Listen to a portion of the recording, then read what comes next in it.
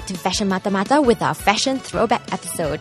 And what does a-ha, Glass Tiger, and Howard Jones have in common with our next contender? Well, they all like to wear it pegged.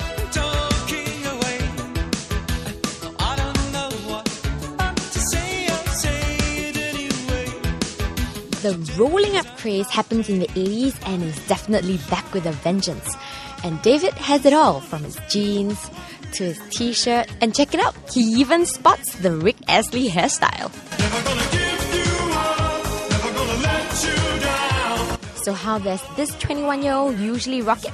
Uh, I'm just wearing a basic tee from Industrie that I got in Australia, and Ksubi jeans, also from Australia, and just the usual Havaianas. Any reason why you're folding your jeans up? It's pretty hot in Singapore, and I just I just got into the whole rolled jeans, rolled sleeves look. I usually roll up my skinny jeans as well and stuff like that. So yeah, Ah, Why do you think so many people are wearing skinny jeans? makes them look better. I don't know.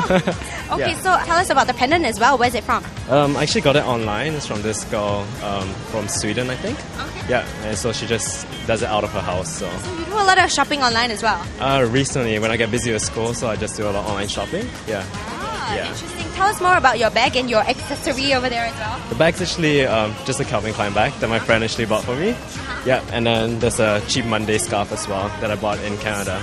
Well, Yeah. is it just an accessory for your bag or do you use it No, I use it around my neck as well. I wear it as a scarf around my neck as well. So just usually overseas, not so much here because it's hot? yeah, because it's really hot here. So usually only when I'm back in Australia or Canada, and then this over there.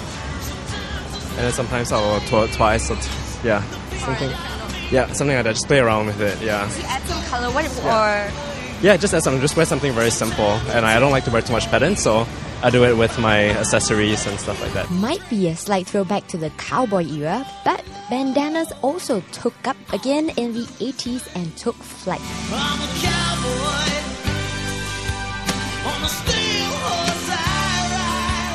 Show this to your mom when she wants to throw away clothes. The scarf was a popular men's accessory even in the 80s for the glam metal bands. It's really hot in Singapore, so I usually either wear slippers or wear boat shoes. But yeah, other than that, yeah, just keep it simple, right? So, Keeping it simple. Yeah, But that's so, what is that your style theory as well? well, I'm studying on the Gold Coast as well, so there's a lot of beach culture. So I try and incorporate that into my look as well. Yeah, No wonder you have a nice tan. yeah, thank you. Yep, and all David is missing from his 80s look? Mm hmm. 80s Reeboks. Next up, flashbacks from fame.